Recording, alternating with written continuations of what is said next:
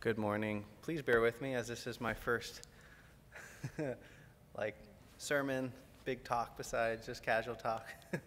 um, and if you have questions, please just remember them uh, because afterwards, uh, as they had mentioned, we're going to have a continued slideshow as there is hundreds of photos and um, this is a time for me to share with you about my journey to the promised, well, the promised land to the Exodus, to the Bible lands. Okay, well, here, here I am in this photo, um, as behind me is the Pyramid of Giza. So, what better place to start the story of Exodus but in Cairo, in Egypt, in the very land that the Egyptians were, you know, the great laborers of Egypt, the builders. They were blessed with wisdom by God, and Pharaoh He's like, well, that's, that's the right employees to hire. so, well, as we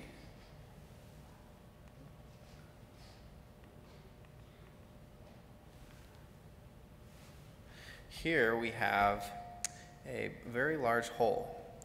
They discovered grain in the bottom of this hole. It is as you can see in the photo, you can't see the bottom. I wasn't able to see the bottom. Um, but the Bible verse, Genesis 41, verses 35 and 36 says, And let them gather all the food of those good years that are coming, and store up grain under the authority of Pharaoh, and let them keep food in the cities.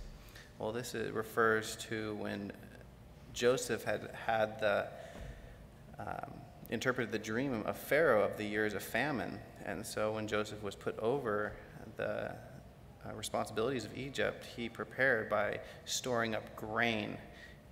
Well, likelihood is these were the grain holders because there hasn't been any other site that showed such a situation. And as well as this is uh, the tomb of the Pharaoh um, Djoser. I'm not exactly. Let's go next slide. This is a step pyramid. It is one of the oldest pyramids and burial mounds in Egypt. Go to the next slide. Here is the step pyramid in the courtyard. Um, at the base and center um, in this photo is a hole that was dug a thousand years after the pyramid was built. Um, another pharaoh uh, wanted to, I guess, get inside. Um, but what's unique about it is the petroglyphs, um, Egyptian writing expresses that this tomb was built by um, Imhotep. And the stories of who Imhotep is all depicts as Joseph, because it says that uh, Imhotep had saved Egypt from a time of famine of seven years, and there is a lot of correlation um, that matched. And so I'll tell you a little bit about that Pharaoh. It says that he employed an advisor um, who had designed that pyramid, which at the time, until that, before that pyramid was built, everything was just burial mounds.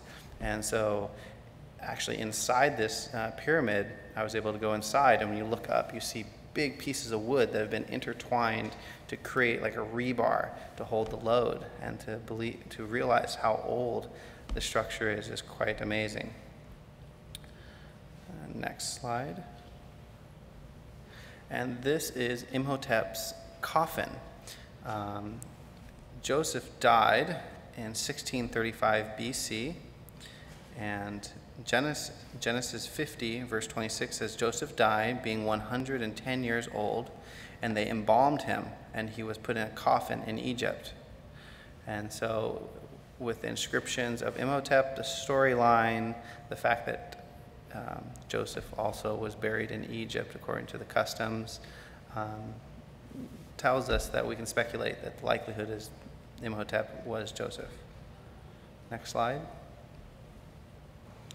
Well, from the time of Joseph, then we have Moses. Well, Moses, you know, many of us know the story. Moses um, was survived the time when They were trying to kill, and they were killing all the young children. And Moses fled at Pharaoh after he had killed a Jew. Um, and he went to the land of Midian.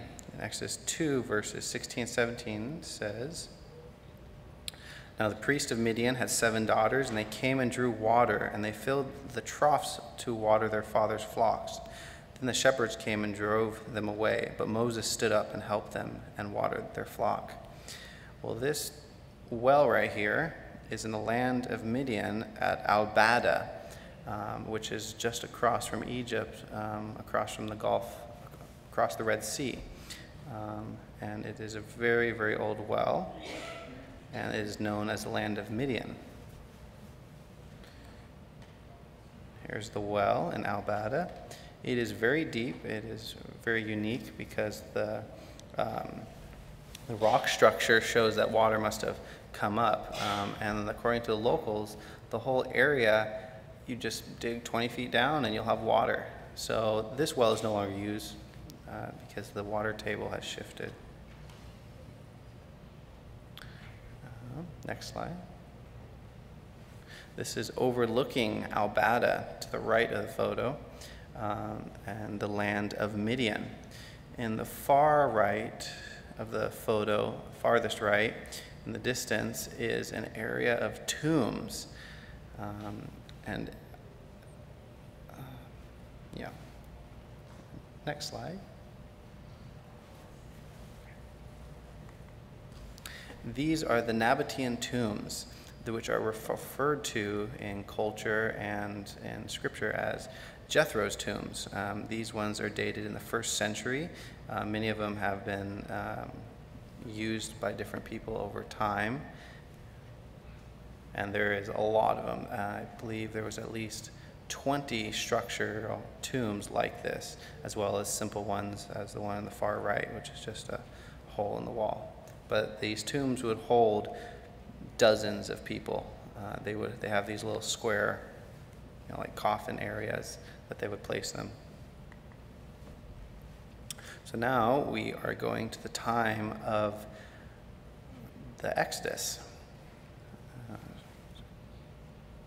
So this photo is a Google Earth photo overlooking uh, the Gulf of Aqaba um, with Saudi Arabia on one side and Egypt on the other. Uh, the reason this is unique is at the town of Nuweiba, it says in Exodus 13, verses 18. So God led the people around by way of the wilderness of the Red Sea, and the children of Israel went up in orderly ranks out of the land of Egypt. Well, at this location, there is uh, old Egyptian fortresses, um, as well as when you come down to the shoreline there, you are you have wilderness behind you. As you can see, there's like a little snake. That's the, uh, the valley Watar um, which you can travel through fairly easy because it's not uh, mountainous. But if you get to that location, you would definitely be walled in, as it says in Scripture. Um, this is a pillar that is believed to have been built during the time of King of Solomon as a memorial of the Exodus crossing. Um, it had originally been found down in the ocean and had been later brought up to the current location, which overlooks the town of Nuweiba. Um, Exodus 14, verses 1 through 3. Now the Lord spoke to Moses, saying, Speak to the children of Israel that they turn and camp before Pi Haroth, between Migdol and the sea, opposite Baal Zephon. You shall camp before it by the sea. For Pharaoh will say of the children of Israel, They are bewildered by the land, the wilderness has closed them in. Thus expresses that they were very trapped. This is looking from uh, Nuweiba to Saudi Arabia. So that's just Saudi Arabia right over there, not very far. Exodus 14, verses 21 and 22 says Then Moses stretched out his hand over the sea and the Lord caused the sea to go back by a strong east wind all that night, and made the sea into dry land, and the waters were divided. What a magnificent sight that would have been to see the waters receding and being able to escape the Egyptians as, you know, just we know that the Israelites were known for complaining, so they get to a, a beach and they're trapped, and there's a Moses, what, what is this? And God opens a way for them to escape.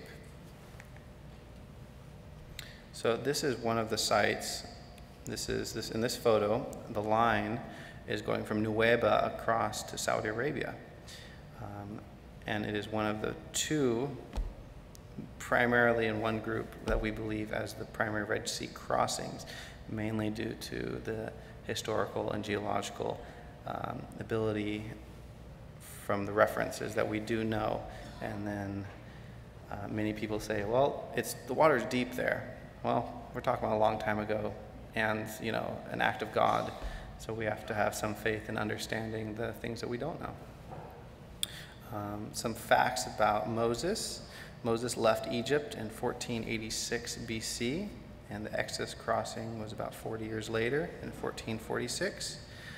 Uh, Mo- Moses was also known as Tutmosis II, and Tutankhamun was the firstborn of Tutmosis IV, which would have been a descendant within the uh, pharaoh line that Moses had been attached to. So this is in the town of uh, Haql. Um, it is a town at the top of Saudi Arabia corner, next to the town of, uh, next to the country of Jordan. Um, and that photo is looking over at Egypt, uh, across the Gulf of Aqaba, um, towards Nuweiba. And uniquely, Nuweiba means waters of Moses.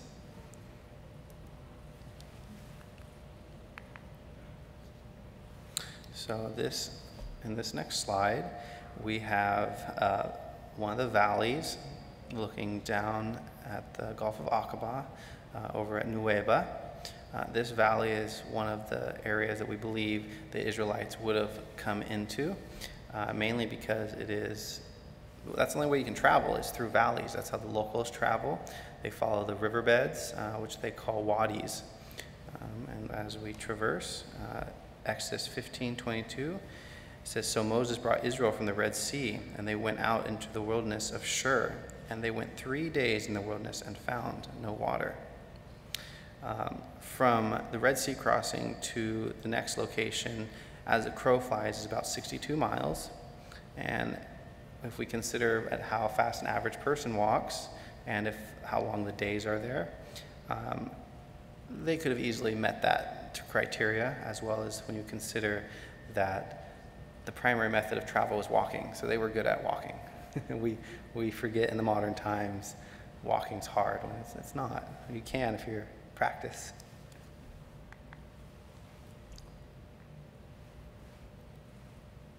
This is Maqna, which is uh, known as the Springs of Moses. What's unique about the spot is there is lots of water. Even to this day, there are uh, areas where you just can go up and there's water coming out of the ground. Uh, they use it a lot for irrigating for date palms, which are what majority of those trees are there. Um, I am standing on a fortress in this photo. Uh, it is considered one of the oldest, I believe, uh, Nabatean uh, fortresses um, in the Saudi Arabian area. Um, for the things that are preserved in the site. As I went up there, I discovered things that I was surprised about. Uh, the locals are always looking for gold, so they were digging uh, up areas there. Um, but the fortress was there to protect the water source, as everyone, when you need water to survive, everyone wants it.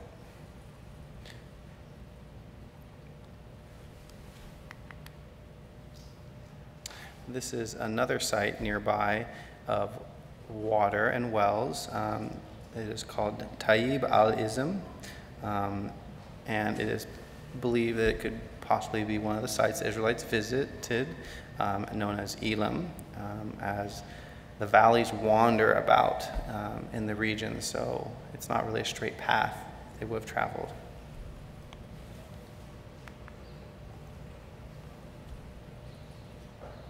Now we are in Horeb. This is overlooking the plains in that area. Um,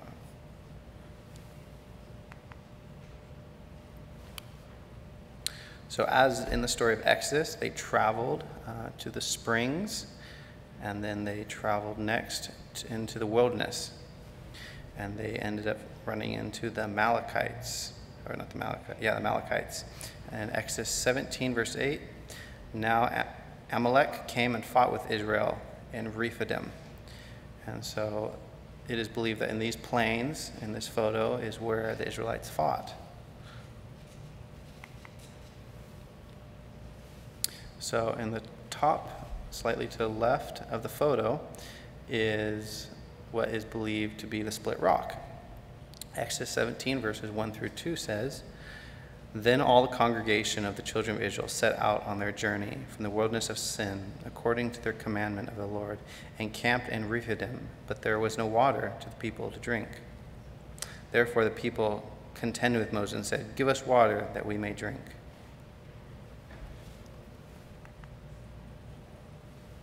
Here is what is known as the split rock. Exodus 17, verses 6 through 7. Behold, I stand before you there on the rock in Horeb, and you shall strike the rock, and water will come out of it, and the people may drink. What's unique about this rock to this day is the locals in the area, even though the only people who live in this area are the um, Bedouins, the, the natives, the tribesmen who travel with their camels. And we actually met people out there who were named after this rock. So it is unique. There is also petroglyphs in the region and other historical things signifying that this is a unique location. It is also on the other side of the mountain of Sinai, uh, thus giving it in the right region, saying that they had camped uh, beside Sinai uh, before actually getting there because there's a mountain in the way.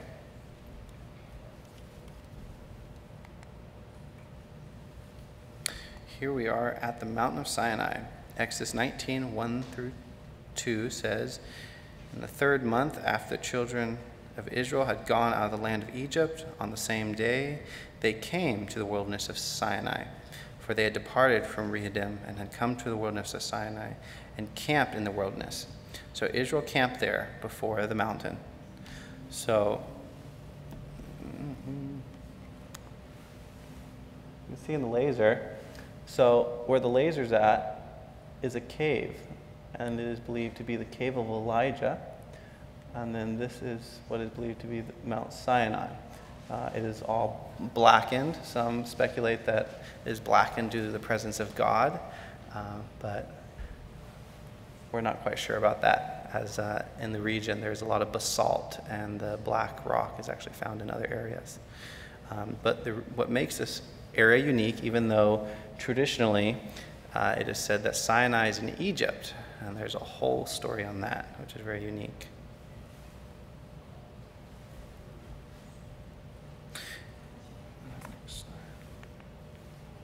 Uh, another unique thing is that the word Sinai uh, is just, by Strong's definition, is a mountain of Arabia. So that tells us that Sinai won't be in Egypt, just by its Arabic name. So in this photo, we have what is believed to be the gold calf altar site.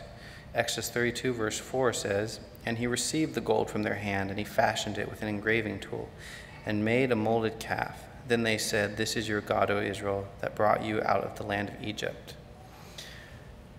The reason we believe it is the golden calf site is not just because it's a mound that would allow you to put a golden calf on top of and allow people to see, but it is also in the viewing distance of Mount Sinai, as well as at least, how I didn't count them all, a hundred calf petroglyphs on it, of not just cows, but of other animals um, that are quite old, thus signifying it having a historical influence in the area.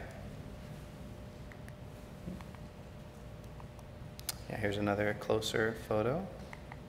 And there is one photo of just some of those petroglyphs um, showing camels and cows. And the reason they date this, or that it's appropriate, is because they're able to tell what type of cows they are by according to their uh, coloring and horn shapes on whether or not they are Egyptian cows or Saudi Arabian cows. And as we know in Scripture, that the Israelites traveled with livestock.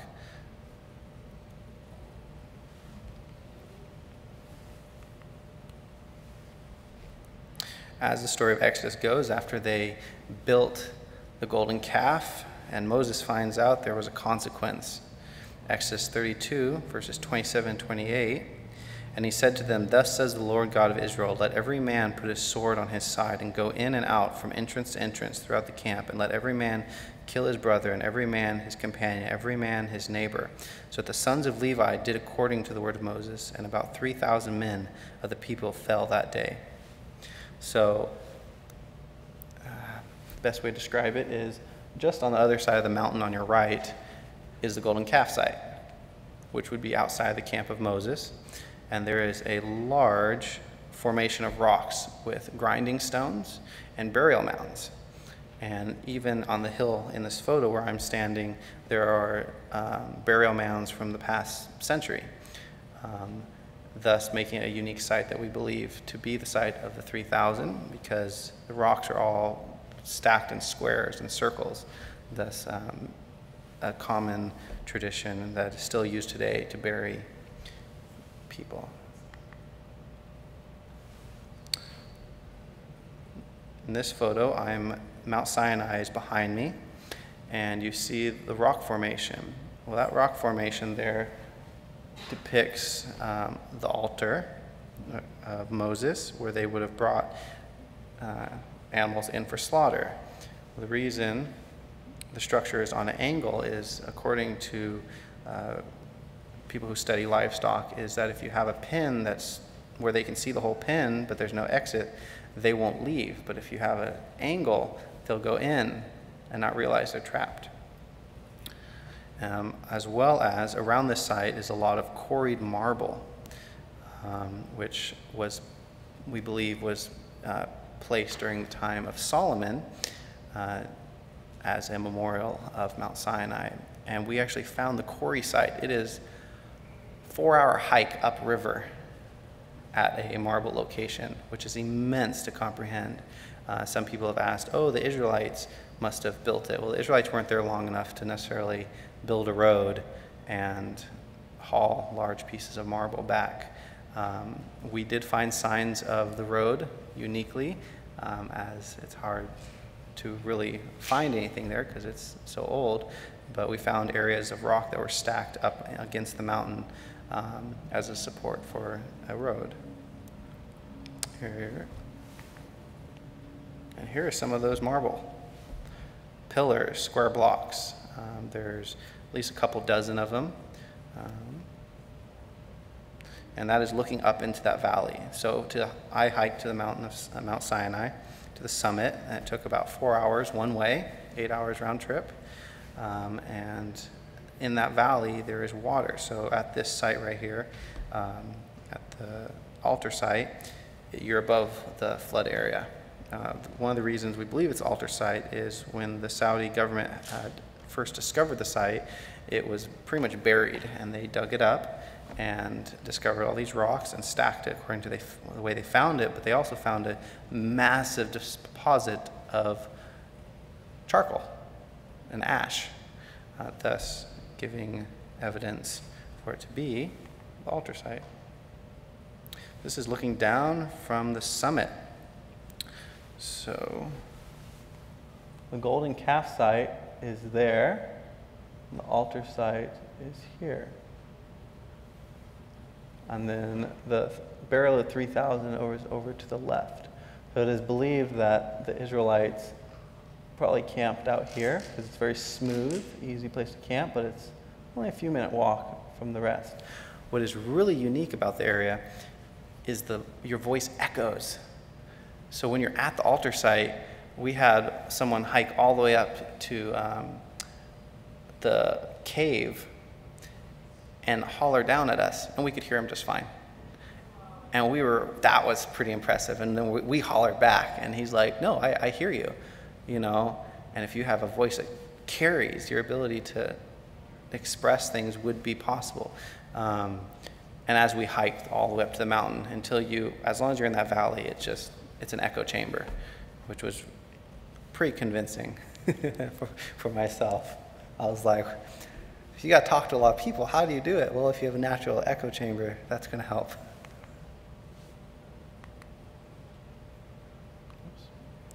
So this is uh, just below, in the other photo, there's a plateau.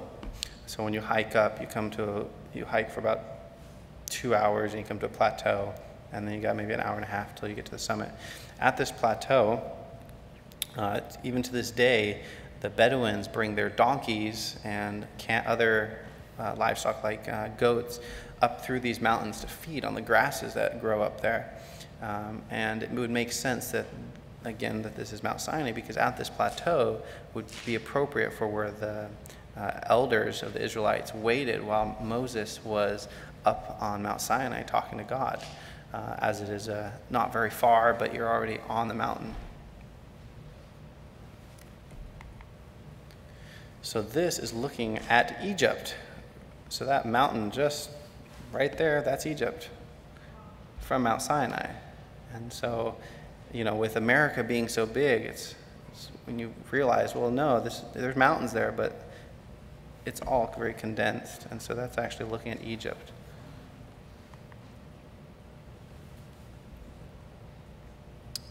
And here we are at the summit. So my fellow companions.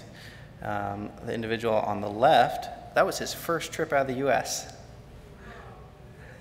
And he went to Saudi Arabia as his first trip out of the U.S. And he said it was the most exceptional, it was amazing for him. Um, another individual is a retired Air Force man who really helped keep our team together, and he has now continued to help um, our explorations out there. I want to say thank you for um,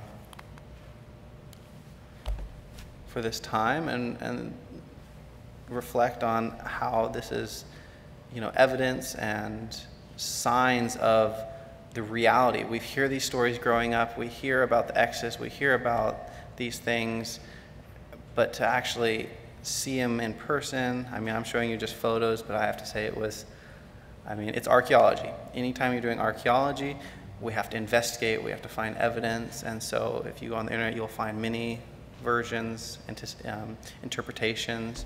Um, but I'd have to say this, for me, it was very strong evidence and it makes very strong sense. So.